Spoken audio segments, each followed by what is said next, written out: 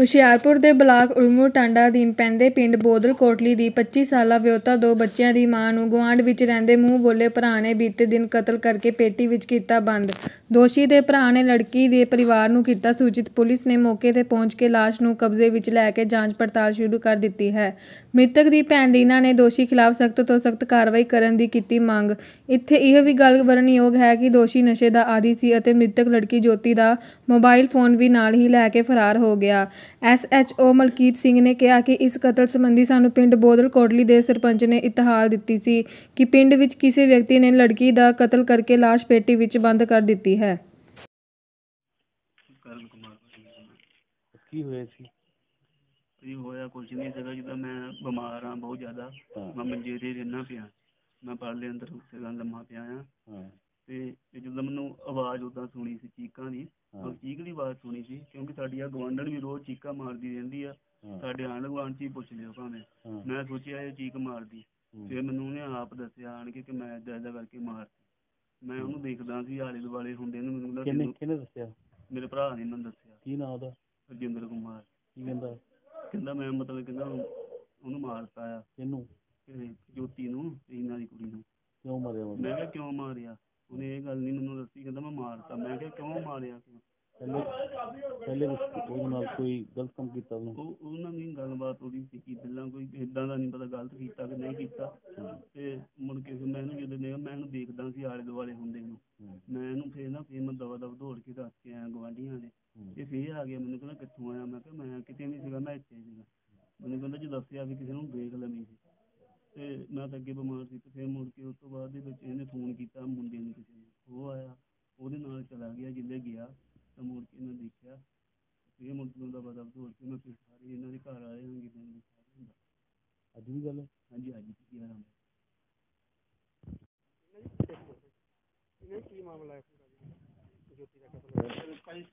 ਜੋਤੀ ਆਪਣੇ ਡੈਡੀ ਉਹਨਾਂ ਕੋਲ ਰਹਿੰਦੀ ਹੁੰਦੀ ਸੀ।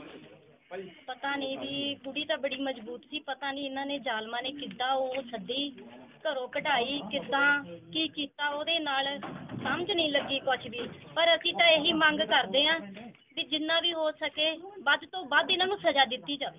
ਜਿਹੜਾ ਕਾਤਲ ਆ ਤੇ ਰੀਨਾ ਦੇ ਅਹ ਕਾਤਲ ਦਾ ਜੋਤੀ ਦੇ ਨਾਲ ਕੀ ਰਿਸ਼ਤਾ ਸੀ? ਭਰਾ ਲੱਗਦਾ ਸੀ।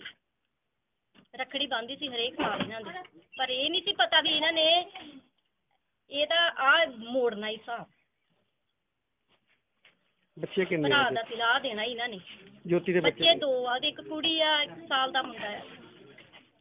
ਕੀ ਮੰਗ ਕਰਦੇ ਪ੍ਰਸ਼ਾਸਨ ਤੋਂ ਅਸੀਂ ਮੰਗ ਇਹੀ ਕਰਦੇ ਕਿ ਇਹਨਾਂ ਨੂੰ ਸਖਤ ਤੋਂ ਸਖਤ ਸਜ਼ਾ ਦਿੱਤੀ ਜਾਵੇ ਜਿੱਦਾਂ ਸਾਡੀ ਕੁੜੀ ਨੂੰ ਮਾਰਿਆ ਏਦਾਂ ਹੀ ਇਹਨਾਂ ਦਾ ਗਲ ਘੁੱਟ ਕੇ ਫਾਂਸੀ ਦਿੱਤੀ ਜਾਵੇ ਇਹਨਾਂ ਨੂੰ ਸਖਤ ਤੋਂ ਸਖਤ ਫਾਂਸੀ ਦਿੱਤੀ ਜਾਵੇ ਇਹਨਾਂ ਨੂੰ ਜੀਣ ਦਾ ਕੋਈ ਹੱਕ ਨਹੀਂਗਾ ਇੰਨੇ ਨਛੇੜੂ ਗੰਦੇ ਬੰਦੇ ਸੀ ਇਹਨਾਂ ਨੂੰ ਦੁਨੀਆ ਤੇ ਰਹਿਣ ਦਾ ਕੋਈ ਹੱਕ ਨਹੀਂ ਹਾਂਜੀ ਕੀ ਮਾਮਲਾ ਹੈ ਸਾਰਾ? ਕੀ ਜਿਹੜਾ ਕਤਲ ਹੋਇਆ ਹੈ? ਤੁਹਾਡੀ ਕੀ ਲੱਗਦੀ ਹੈ? ਮੇਰੀ ਬੇਟੀ ਆ ਜੀ।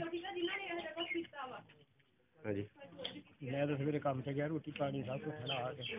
ਤਾਂ ਇੱਕ ਵਜੇ ਆਇਆ ਤਾਂ ਮੁੜ ਕੇ ਕਾਕਾ ਉੱਤੇ ਮੰਜੇ ਦੇ ਦੇਗਾ ਤੇ ਮੈਂ ਕਿਹਾ ਚੱਲ ਇੱਧਰ ਉੱਧਰ ਗਈ ਹੋਣੀ ਆ। ਮੁੜ ਕੇ ਮੁੰਡੇ ਨੇ ਜਾ ਕੇ ਤੁਹਾਨੂੰ ਦੱਸਿਆ, ਕਹਿੰਦਾ ਮਾਮਾ ਜੋਤੀ ਨੂੰ ਮਾਰ ਕੇ ਪੇਟ 'ਚ ਉਹਨਾਂ ਨੇ ਛੱਡ ਦਿੱਤਾ। ਮੈਂ ਕਿਹਾ ਚੱਲ ਸਾਰਾ ਕੁਛ ਹੀ ਕਿ ਮੈਂ ਇਹਦੀ ਗੱਲ ਨਹੀਂ ਮੰਨੀ, ਮੈਂ ਕਿਹਾ ਸਦਾਈ ਆ ਇਹ। ਮੁੜ ਗਿਆ ਅੰਦਰ ਫੋਲਿਆ ਆ ਫੋਲਿਆ ਜਿਹੜੇ ਪੇਟੀ ਖੋਲੀ, ਪੇਟੀ ਦੇ ਥੱਲੇ ਕੱਪੜੇ ਉੱਤੇ- ਉਹ ਥੱਲੇ ਨੱਪੀ ਹੋਈ ਸੀ। ਫਿਰ ਅਸੀਂ ਸਰਪੰਚ ਸਾਹਿਬ ਕੋ ਗਏ। ਇਹ ਕਹਿੰਦੇ ਕੋਈ ਗੱਲ ਨਹੀਂ ਇਹਨਾਂ ਨੇ ਮੌਕਾ ਦਿਖਾ ਲਿਆ। ਇਹਨਾਂ ਨੇ ਜਾ ਦੇਖੋ ਬੈਠੇ ਆਣ ਕੇ, ਇਹਨਾਂ ਨੇ ਮੌਕਾ ਦੇਖਿਆ ਸਾਡਾ। ਕੌਣ ਸ਼ਖਸ ਸੀ ਜਿਹਨੇ ਕਤਲ ਕੀਤਾ ਹੈ? ਬੰਟੂ ਇੱਕਾ ਉਹਦੇ ਛੋਟੇ ਭਰਾ ਨੇ ਸਾਨੂੰ ਦੱਸਿਆ ਕੀ ਕੋਈ ਰੰਜਿਸ਼ਬਾਜ਼ੀ ਸੀ ਕੋਈ ਨਹੀਂ ਕਦੀ ਨਹੀਂ ਸਾਡਾ ਕੋਈ ਹੈ ਨਹੀਂ ਨਾ ਕੋਈ ਬੋਲ ਚਾਲੀ ਆਉਂਦੇ ਜਾਂਦੇ ਸੀ ਕੋਈ ਤਾਂ ਗੱਲ ਤਾਂ ਹੈ ਨਹੀਂ ਸੀ ਮਕਾਨ ਕਿਹਦਾ ਜਿੱਥੇ ਕਿ ਡੈਡ ਕੀ ਉਹਦਾ ਆ ਕਿ ਸਾਡੀ ਚਾਚੇ ਦੀ ਕੁੜੀ ਸੀ ਸਾਡਾ ਬਾਟਾ ਉੱਪਰ ਫਾਟਿਆ ਤੇ ਮੇਰਾ ਭਰਾ ਇੱਧਰ ਹੀ ਆ ਉਹ। ਉਹ ਖੜਾ ਹੈ। ਕੀ ਮੰਗ ਕਰਦੇ ਹੋ ਤੁਸੀਂ? ਹਾਂਜੀ ਕੀ ਮੰਗ ਕਰਦੇ ਪ੍ਰਸ਼ਾਸਨ ਤੋਂ? ਅੱਗੇ ਤਾਂ ਹੁਣ ਕੀ ਗੱਲ ਆ ਸਾਡੇ ਰਹਿ ਗਿਆ ਉਹ ਖਾਣ ਦਾ ਬੱਚਾ ਵੀ ਮੈਂ ਕਿੱਦਾਂ ਕਰੂੰ ਮੇਰਾ ਸੰਗੇ ਇੰਨਾ ਜਿਹੜਾ ਮੁੰਡਾ ਪੂਰਾ ਹੋ ਗਿਆ ਸੀ ਅਸਲੋਂ ਮਿਲਨੇ ਹੋ ਗਏ ਫਿਰ ਤੋਂ ਇਹ ਵੀ ਚਲ ਗਈ ਉਹ ਪੋਤਾ ਵੀ ਚਲ ਗਿਆ। ਘਰ ਦੀ ਵੀ ਮਾਰੇ ਕੋ ਕੋ ਥੋੜਾ ਟਕਾ ਮੇਰਾ ਬਾਤ ਚਲ ਗਿਆ ਐਨੇ ਤੋਂ ਕਿਤੇ ਰਕਮ ਵੀ ਸਮਝ ਲਓ ਸੀ ਤੇ ਉਹ ਵੀ ਇਹਨਾਂ ਨੇ ਪਾਪੀਆਂ ਨੇ ਆ ਕੋ ਕੀਤਾ ਤਾਂ ਮੈਂ ਛੱਡਣ ਦਾ ਮੈਂ ਵੀ ਨਹੀਂ ਇਹਨਾਂ ਨੂੰ। ਇਹ ਜਿਹੜੇ ਤੁਹਾਡੇ ਰਿਸ਼ਤੇ ਸਾਡੀ ਚਾਚੇ ਦੀ ਕੁੜੀ ਆ ਇਹ।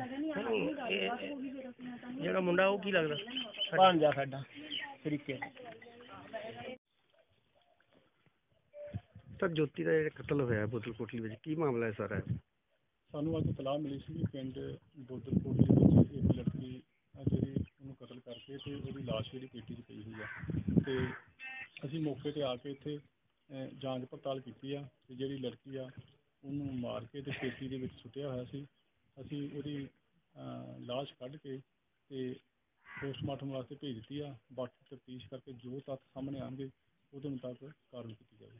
ਜੇ ਦੋਸ਼ੀ ਦਾ ਨਾਂ ਲੱਗ ਰਿਹਾ ਉਹ ਦੋਸ਼ੀ ਫੜਿਆ ਗਿਆ ਕੋਈ? ਨਹੀਂ ਅਜੇ ਤੱਕ ਨਹੀਂ। ਅਜੇ ਤੱਕ ਅਸੀਂ ਉਪਰਾਲੇ ਕਰ ਰਹੇ ਹਾਂ ਤੇ ਕਰਿਆ ਜਾਊਗਾ।